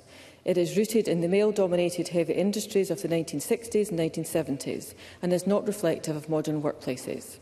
It fails to serve a raft of workers and the related risks of their employment, including shift workers, care workers and firefighters. And there is a clear gender dimension to these proposals, uh, which I welcome. This has also been raised by Richard Leonard and Maggie Chapman uh, when they talked about the evidence given by uh, Close the Gap to the committee. Women's health and safety at work has been ignored for too long. Just 7% of claims for industrial injuries benefits are made to women. It was designed for male-dominated workplaces and it systematically ignores and listens to women's injuries and made ill at work. Uh, we also have the proposal from Mark Griffin for the Advisory Council to be gender balanced, and I, I welcome that. While the Scottish Government will introduce employment injury assistance, it will not be able to seek advice from the UK Industry uh, Advisory Council, the gap left here provides an opportunity to, instead of replicating an outdated and failing system, to set up a council that will help design and deliver the new employment industry benefit. It would advise the Scottish Government on the occupations and conditions it should cover and ensure that the voice of workers are at its core. The Council should not be part of a jigsaw, but core to advising the Government on designing and putting together the new benefit. It would draw on those with lived experience of employment injuries and illnesses alongside medical expertise, workers, employees and representatives. It would give workers a voice in the process and that is what is forward-thinking, inclusive and in line with fair work principles. As members will be aware, Workers' Memorial Day will take place at the end of April. It's always an important reminder to us of the need to do more to protect workers and to ensure that the families of those who have lost loved ones at work are able to secure justice. It has also recognised the impact of life-limiting industrial diseases. In the year to March 2023, 26 people in Scotland died in workplace accidents, 26 people who went to their place of work and never came home again, each one of them leaving behind a family in distress. In the last parliamentary session, members may know that I sought support for a bill to change the law allowing workplace deaths by introducing accountability for companies responsible. That bill was debated at stage one in January but fell at that hurdle. In the three years since that debate, life continued to be lost in workplace accidents. And while I could not convince the Parliament of the competence of my bill, I do believe we should be doing more to understand the causes of fatalities and injuries at work, and this is where Mark Griffin's bill does have relevance. We know from HSE statistics that the rate of fatal injuries in Scotland are consistently higher than those for Great Britain. One possible explanation is that a greater proportion of workers in Scotland are employed in higher risk industry sectors or higher risk occupations. If the figures are adjusted to take account for this rate for Scotland, it remains significantly higher. An advisory council on social security support could provide valuable information on workplace risk and safety and help us to understand why we have a poor record in these areas. I appreciate that HSC operates under governance of the UK Government and has responsibility for workplace safety. But that doesn't prohibit the Scottish Government from working with risk sectors or from responding to the concerns of bereaved families or families who are living with long-term health conditions.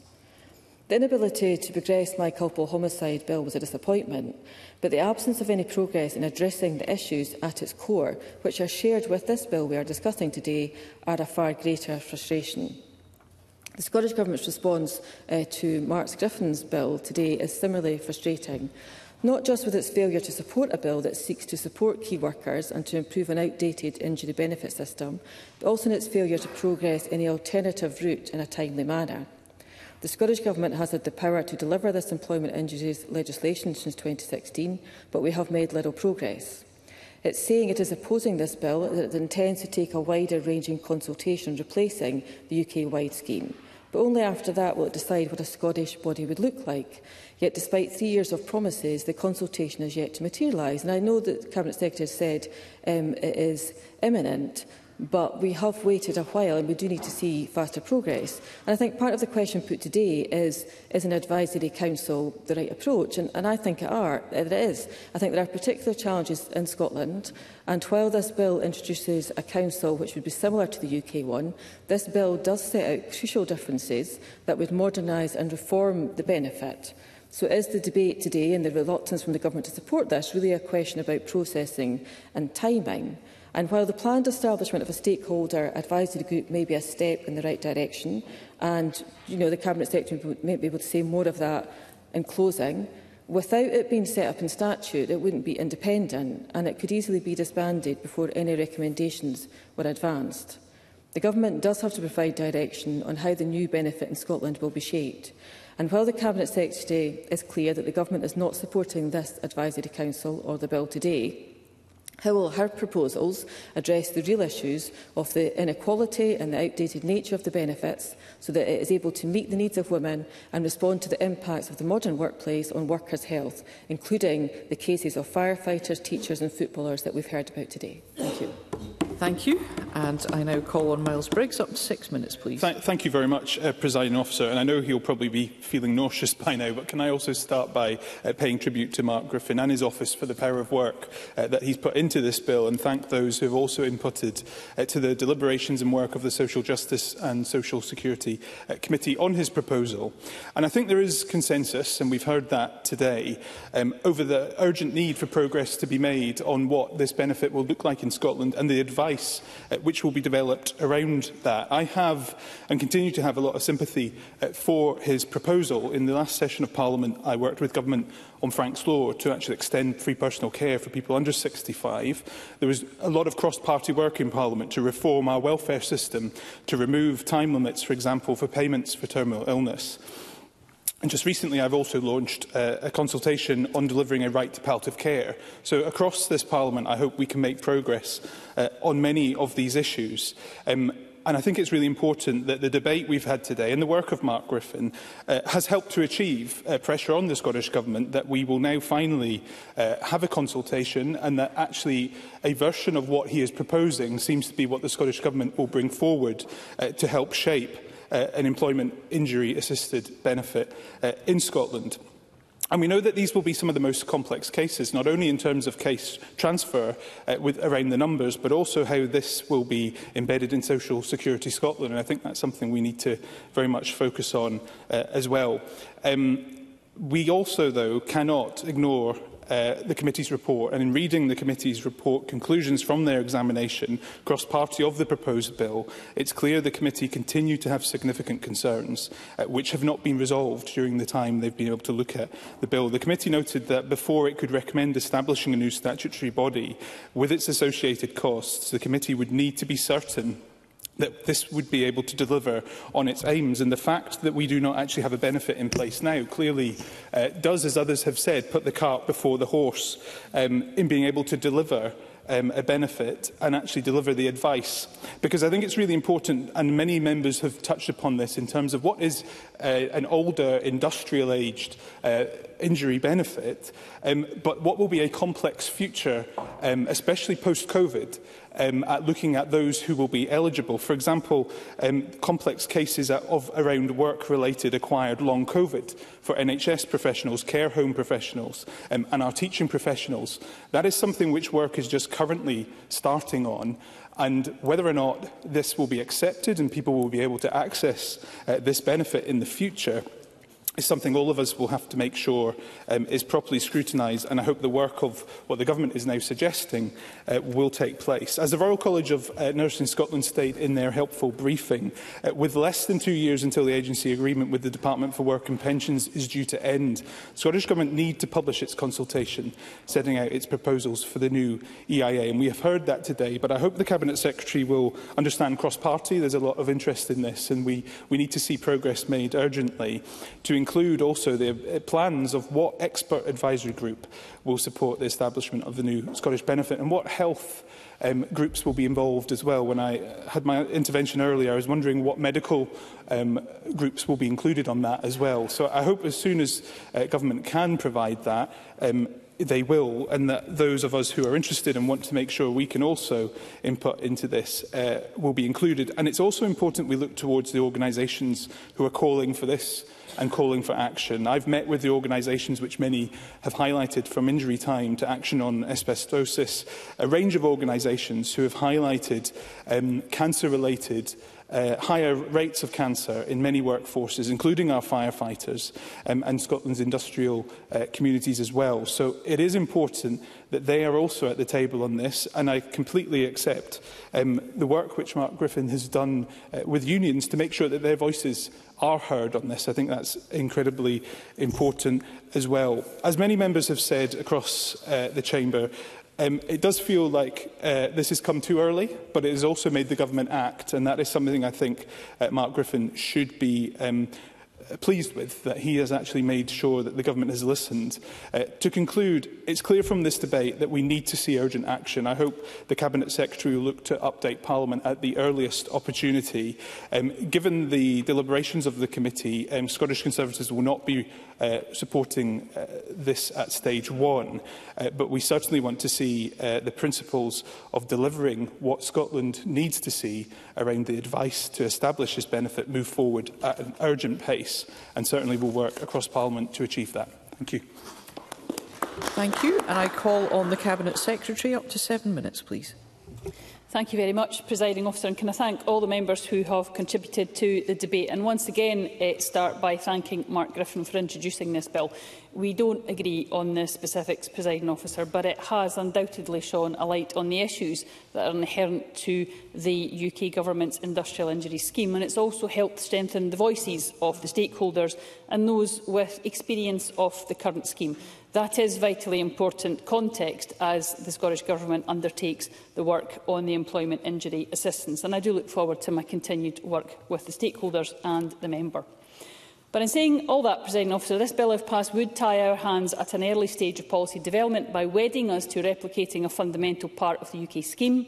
The committee has heard extensive criticisms of the UK Council and how it operates, including its lack of research capacity and length of time it took for recommendations to be implemented.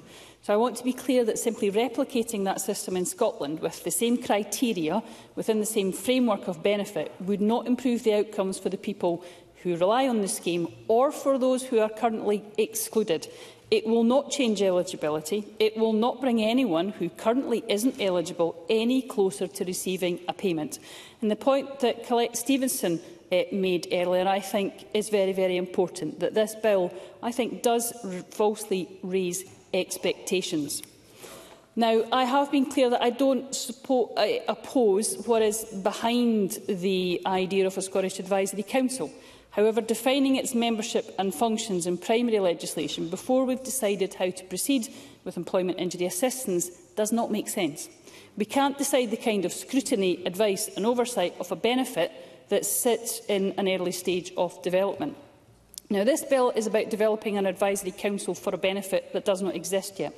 It can be used for developing the design of a benefit, but as I've said earlier on, we don't need that to be done in statutory footing. We can do that and have done that in the past for all other benefits without such a requirement. But I am looking forward to launching our consultation outlining our immediate intentions for the delivery of employment injury assistance in the coming weeks. As I said to Jeremy Balfour, uh, I, did not, uh, I did choose to wait until this debate because if Parliament had chose to move forward with this bill to stages two and three, that would have had a material impact on what is in the consultation. If Parliament decides to vote against the general principles of the bill today, then the consultation will arrive in short order. Now, many members have asked about the um, uh, new advisory group that I have already mentioned, and uh, can I be clear on what we are intending to do on that? There will be invitations for a range of people with lived experience, but particularly also including trade union representatives to ensure that the voice of workers are very much at the core of the design also disabled people's organisations, welfare advisory groups and experts in occupational health. Members have also suggested, including Miles Briggs, um, some um, other um, avenues that may, we, we may wish to explore around membership, and I'm more than happy um, in correspondence or indeed um, uh, through meeting members to discuss uh, people's thoughts on who would be on that group. And that group can, again, be undertaken in short order once we have the consultation underway and then completed. Can I also um, reassure um, um, members that the Clydebank Asbestos Group um, will, I hope, um, be part of that. It would certainly be my intention to extend an invitation uh, to them. To join that and to Maggie Chapman and indeed others who mentioned uh, firefighters, I would absolutely commit to encouraging uh, the voice of firefighters to be heard through the consultation and indeed the next steps. That is uh, such an important um, part of the work that we do need to move on. The aspects around what will be uh, included in the benefit um, is something that we will, of course, return to. But I think it is important to clarify that even if this advisory council was set up, it would not help prevent workplace disease because employment law and health and safety executive are reserved to the UK government. So many people are wishing this bill to achieve things which, quite frankly, presiding officer, they may wish to happen, but will not, cannot happen within the current setup and the powers that we have. But we are continuing, of course, to work on um, our consultation, and again I give my reassurance we will do so in short order. President officer, each of us in this chamber shares the ambition of improving the lives of disabled people in Scotland, and that, of course, does include the people currently in receipt of industrial injuries scheme benefits and, of course, those who will hopefully be able to apply for its replacement. I again thank the members for the work on this bill. We do not agree with the general principles of it, but I would reiterate my offer to work with him in the coming months as we work to deliver a better system for the people of Scotland. Thank you. And I call on Mark Griffin to wind up. If you could take us to five o'clock, Mr Griffin. Thank you, President Officer. And I'd like to takes the opportunity to thank members um, from across the chamber for um, their contributions to, to the, the debate this afternoon. Um, I began my opening remarks by asking members not to turn their backs on the nurses, social care workers, teachers, shop workers, footballers and firefighters who are um, ill simply because of the job they do. Members should know our time is limited here. We have less than a year, less than a year to get this right and ask again, if not now, then when? And I'd like to uh, address some of the, the issues that, that colleagues um, have raised. In particular, I wanted to thank um, colleagues on the, the Social Justice and Social Security Committee for their consideration um, of the bill, their extensive um, evidence gathering and those who responded to the calls for views. I welcome its acknowledgement that the current system fails to deliver for women and ethnic minority workers or to take uh, account of modern occupations uh, and diseases. You know, on the one hand, the committee concludes, and I quote, that the case has been made for giving effective voice to workers, trade unions, employers and lived experience, including the lived experience of disabled people in the design and delivery of this new benefit, although the final conclusion of the committee's report seems to be uh, at odds with that. Now, we have heard a, a range of objections as to why um, members can't support um, the, the bill as it stands. The, the primary one seems to be around timing. Um, the argument that we can't somehow introduce an advisory council in advance of a benefit being introduced. But for members who were here in this last Parliament will know that through the course of the Social Security Scotland Act, we introduced um, the Scottish Commission on Social Security to do this very job, to advise, to scrutinise regulations, um, to make recommendations to Government and Parliament on the benefits, the new benefits that the Government were introducing. Parliament had no problem with setting up that commission in advance of any benefits being introduced. And we've heard specifically from the interim chair of the Scottish Commission on Social Security that they do not have the expertise in workplace illness and injury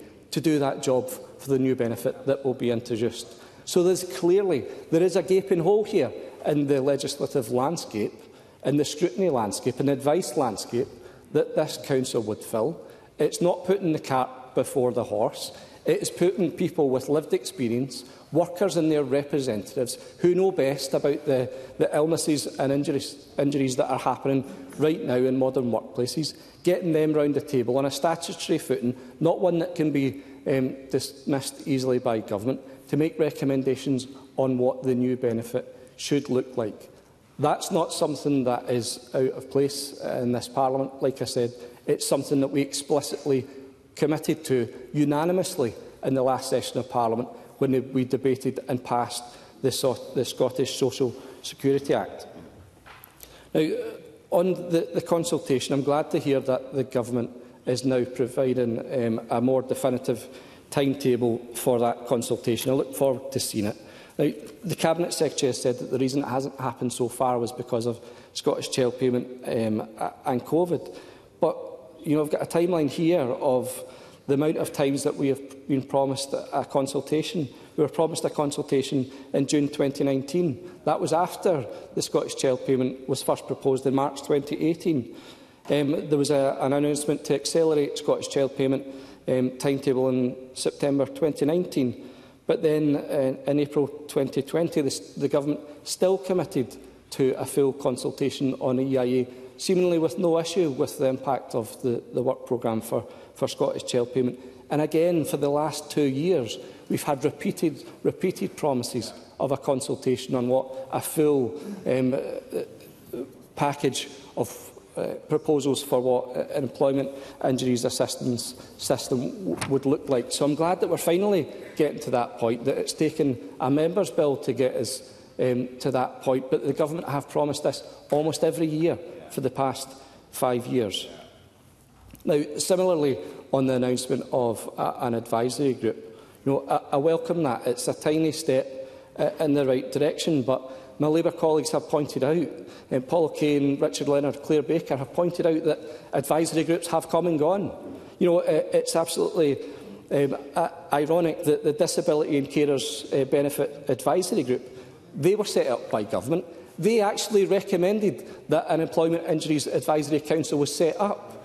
But they were disbanded, disbanded before that recommendation ever saw the light of day. So I'm not filled with hope that a, an advisory group that can be disbanded at the whims of government if it doesn't like its recommendations is going to fulfil the role of a statutory ad, um, advisory council, and I will. Cabinet Secretary.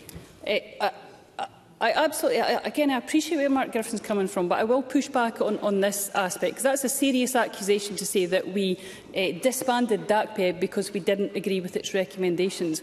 It fulfilled its purpose in that it advised on disability and carers' benefits It did so, and therefore its work was concluded and it moved on, and we thanked it very much for it. I think that assertion is very damaging and, quite frankly, an insult to everyone that was on DAC PIAG for all those years.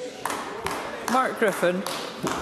Uh, I think if the Cabinet Secretary reflects and looks back at the record. At, at no point did I say that that particular advisory group was disbanded because the government didn't agree with its recommendations. I simply made the point that advisory groups can be disbanded if government don't agree with their recommendations. And I make the point again that that advisory group did recommend that an advisory council was created and were disbanded before that recommendation was made good. That is a statement of fact not my opinion, not an assertion and, and not a reflection on the work of, of that group. They clearly uh, agreed with me, um, so I, uh, I think the, the record um, will reflect that.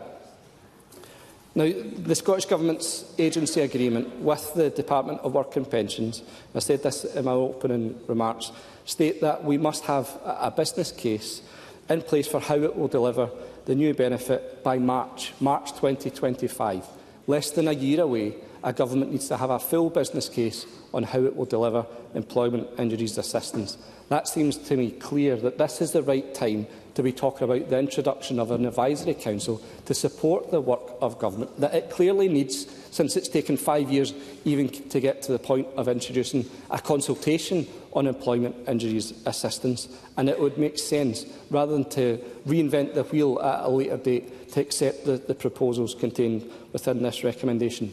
But, but President Officer, um, let me outline why I thought that this bill was important in the, the first place, um, since I do have until five o'clock. I, I started thinking about this um, bill when we were right back in the grips of a pandemic. And I was thinking about key workers, key workers who caught COVID through that pandemic, key workers who had to go to work while we had the safety of staying safe at home. Some of those who caught COVID through the course of their employment, who developed long COVID and are still off their work. Some are still off work. Some have been dismissed. Some people still can't go back to the job that they love. We were on the doorsteps, buying pots and pans, applauding those workers, but now we can't give them a place at the table advising on the, the benefit system that would give them the, recommend, uh, the recognition for the conditions, the illnesses and injuries that they're still suffering because they bravely went out to work while we stayed safe uh, at home. But th the more I looked at the, the shortcomings of the current employment injury benefit system, um, it, it became much more apparent that it went beyond just recognition of those with, with long COVID. You're more than 10 times more likely to be able to claim this benefit, the existing benefit, if you're a man, despite women being far more likely to be found working in caregiving roles that can lead to musculoskeletal injuries. It's an entitlement that absolutely fails half of the population. And the only way that I can see to To make it fairer is to have a modern representative advisory council, gender balanced, that will take account of the workplace as it is right now, rather than it was um, in the last century. I, I have a real fear, presiding officer, that we are devolving an industrial injuries disablement benefit system that reflects the workplaces of the last century, male-dominated workplaces of the last century, and that those um, workers and those representatives who fought, who fought hard for recognition of the illnesses and injuries that affected them, as those predominantly men sadly die as we go forward, that entitlement to this benefit, if unreformed, will die with it. That will see this en entitlement removed from the social security landscape unless we update the entitlement um, and eligibility criteria right now. And that goes to the heart of, of why uh, I laid this bill, because to do that we must have we must have the voices of lived experience of workers, of their representatives, round the table, designing the system, making recommendations to government on eligibility, on prescription and a whole range um, of other issues. This is the opportunity to put voices of lived experience of workers at the centre of design and delivery of the benefit. They should be entitled to it, and I won't give up until those voices are heard and acted on.